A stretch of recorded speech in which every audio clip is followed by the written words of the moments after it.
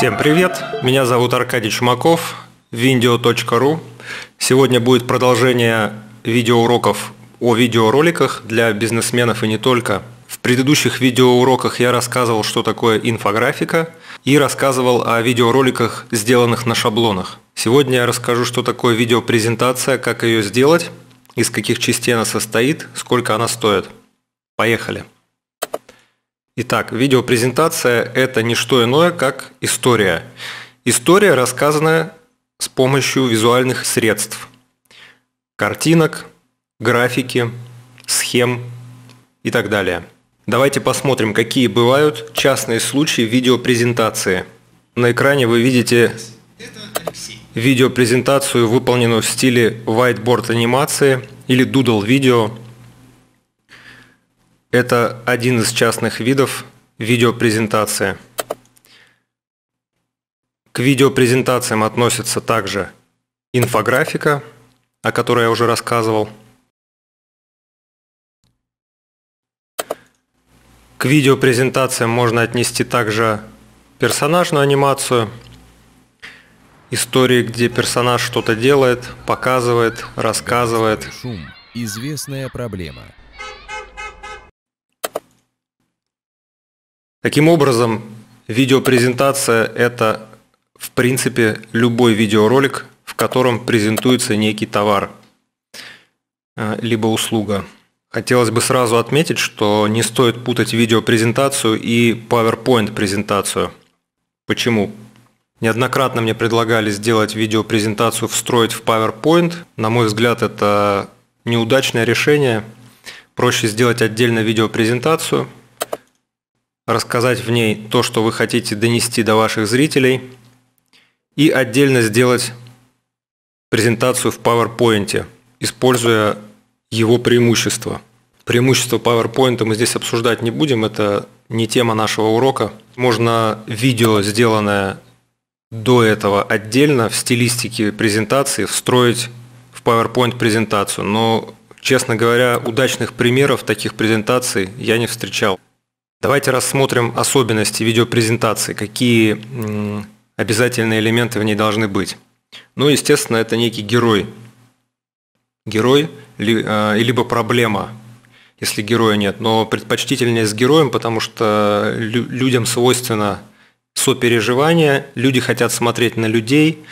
Есть даже статистика тех же фотостоков. Большая часть того, что покупается, люди покупают изображения людей – Соответственно, в видео это тоже работает. Нужно найти героя, показать, что он столкнулся с какой-нибудь проблемой и как он эту проблему решает. Значит, герой, проблема, решение, потом идет презентуемый объект и контактная информация.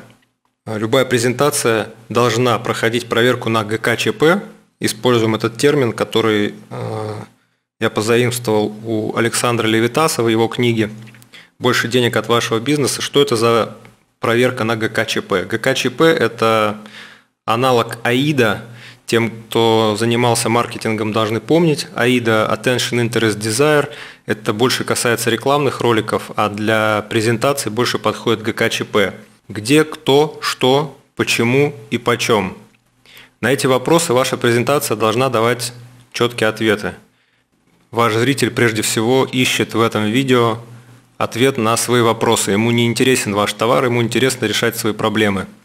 Вот и расскажите ему о том, как вы эти проблемы собираетесь решать. Резюмируем. Видеопрезентация – это история, рассказанная с помощью изобразительных средств. А, большая часть того, о чем я уже рассказывал, инфографика, персонажная анимация, слайд-шоу и т.д. и т.п. – это все частные случаи видеопрезентации. Где может использоваться видеопрезентация – она может использоваться для представления услуг, как вот в этом ролике. Э, здесь, допустим, рассказывается про услугу шумоизоляции автомобилей. Видеопрезентация может использоваться для представления услуг вашей веб-студии. Если у вас веб-студия, вы можете рассказать в своей видеопрезентации, как вы все это делаете, показать этапы. что зачем идет. Видеопрезентация может продавать конкретный продукт. Вот как в этом случае здесь э, продукт сайта сдамна100.com лекции по подготовке к ЕГЭ. Ну и так далее. То есть, по сути, практически любую услугу, которую вы продаете, продвигаете в интернете, можно и нужно представлять с помощью видеопрезентации. Понятно, что для того, чтобы сделать видеопрезентацию, нужно пройти несколько этапов. Для того, чтобы сделать видеопрезентацию, нужно пройти несколько этапов. Вот они здесь описаны у нас. Составляется бриф. Далее делаем сценарий, выбираем диктора. На основе сценария делается видео, вносятся какие-то правки, если они есть, и ваша презентация готова. Примерную стоимость видеопрезентации можете видеть сейчас на экране – это может быть инфографика, ролик на шаблоне, персонажная анимация, либо слайд-шоу. Если у вас остались какие-то вопросы, вы можете задать их на сайте. Здесь есть чатик. В этот чатик можете написать сообщение, я вам отвечу. Либо напишите на электронную почту, я ее тоже постоянно проверяю. Почту вы видите в подписи к видео. В следующем видеоуроке я расскажу про персонажную анимацию.